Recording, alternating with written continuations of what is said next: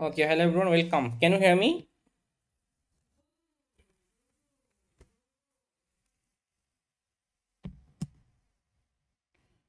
Okay, just we're waiting one minute, then we'll start the session.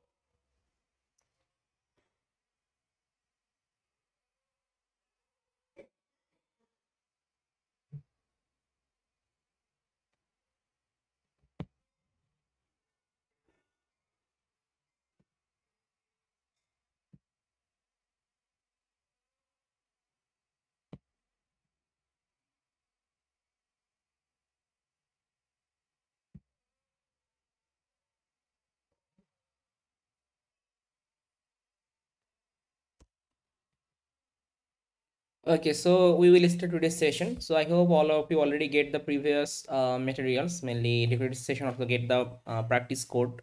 Okay, so after completing the three hours live training, then we talk about the problem solving class for the uh, previous day. Okay, so let me share my screen.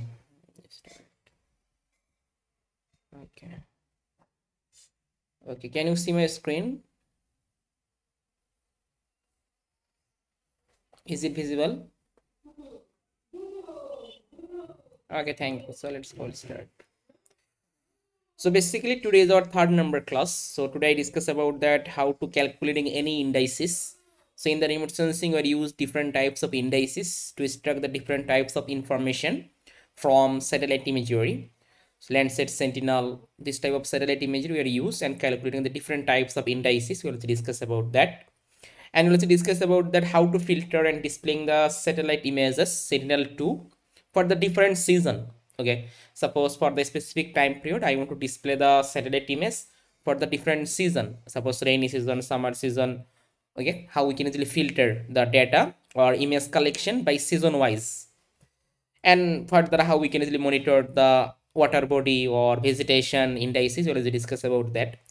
And how to extract the water body from the satellite imagery we also discuss and how to make the time series chart uh, from uh, Landsat or Sentinel imagery, and then how to make the annual time series chart or monthly time series chart for the different types of indices, and how to export the shape file from Google Earth Engine.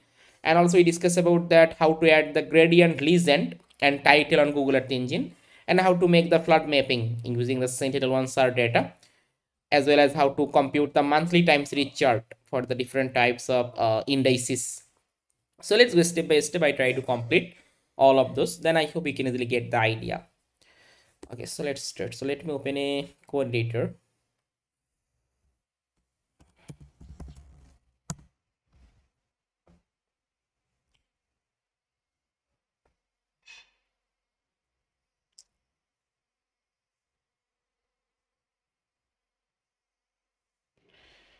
So first of all, how we can easily filter the satellite image for the seasonal. Suppose I want to um, filter the satellite imagery for the two season. uh, for summer season and rainy season so for that uh, first of all we need to import our satellite imagery it can be landsat or sentinel you can use any satellite imagery there is no all of satellite images are the same process okay? So first of all simply import a satellite imagery it can be landsat or sentinel same process. So let me import a um, sentinel-2 satellite imagery for that just click on the browse data catalog and then open the sentinel section. So here we can easily find out all of sentinel-2 image collection and if you check this is sentinel-2 multispectral instrument. And here we find out that uh, all of so in this time we are just use the surface reflectance. Just click on here. So now I can get all of information about that uh, sentinel-2 multispectral instrument level 2 surface reflectance. So this dataset available between this time period 2017 from 2025 uh, 9 November. This is the last time period and this dataset provided all of information you can get from here. You can see this is the Earth Engine snippet id for this image collection. And all of bands reflectance band we also find out in here. And also you can see the image properties. Okay so now this image collection i need to import in our code editor. So for importing just copy the snippet id so similar process just a copy and then paste in this code editor. Okay then just give a variable name before the variable name just use the var keyword then we put any name. I put the name suppose uh, image image collection or image this name. You can put any name as a variable. So now this is my image collection. This image collection i want to filter for a specific region of interest. Suppose Dhaka city boundary or any specific geometry or polygon.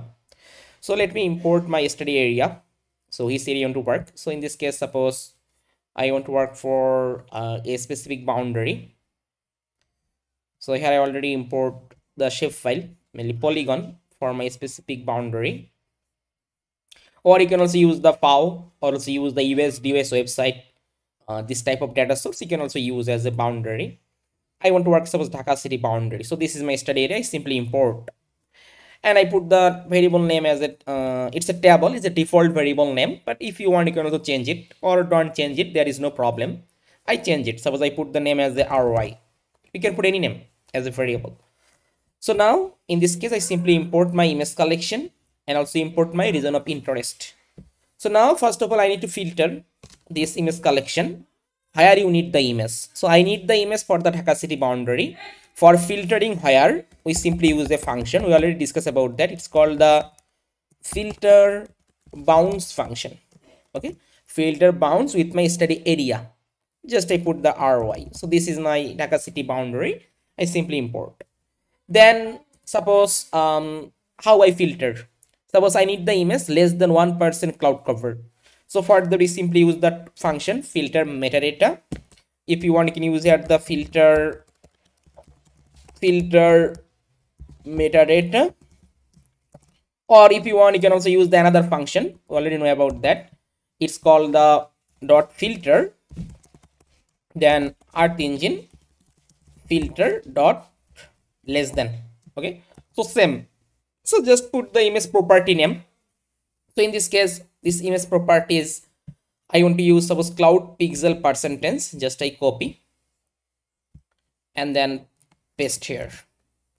And it's a string string mainly group of character. So for that must use the quotation start and end because it's a string. Then i simply assign the value put the comma sign i take the value suppose one. So now i simply import where i need the image i just filter. Then how i need the image? I need the image. This image will be not more than one percent cloud cover. I simply choose it. Then when you need the EMS. so in this case it's a time period suppose i want i need the EMS in year of 2024 but further i also filter for rainy season and summer season or suppose i need the EMS.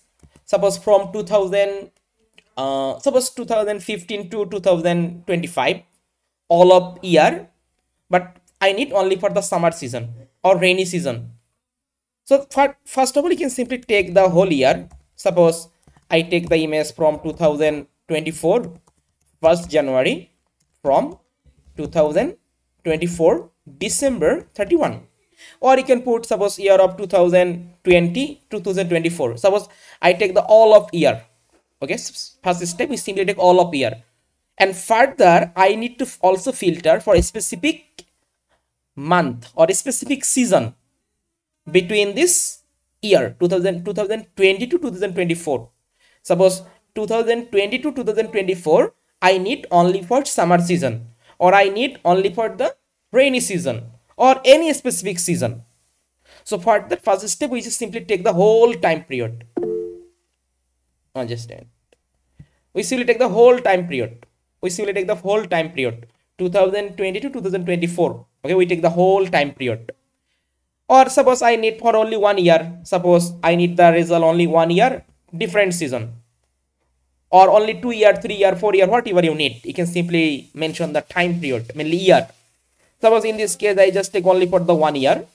So for this one year, I simply filter for two season. Suppose summer season or rainy season.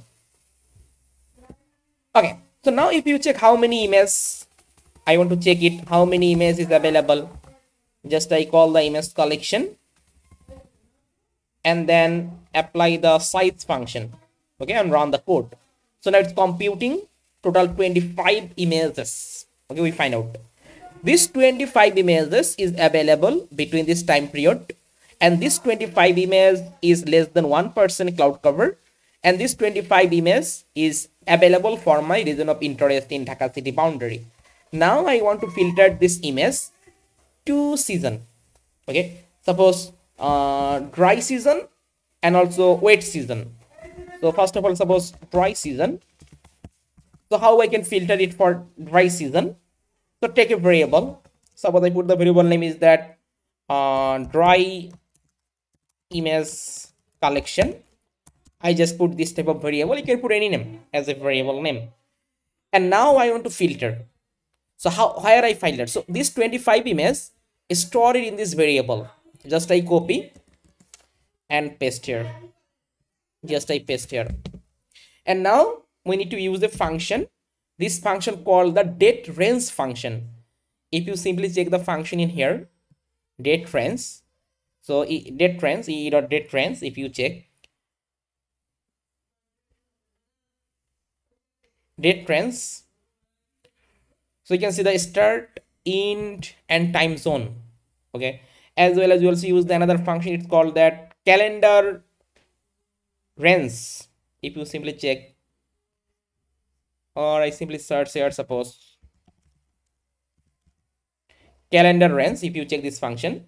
So e dot filter dot calendar range so in the calendar range suppose we simply return a filter that passes if the object timestamp suppose i simply put the start month and in month i put the field suppose month. Okay field basically unit.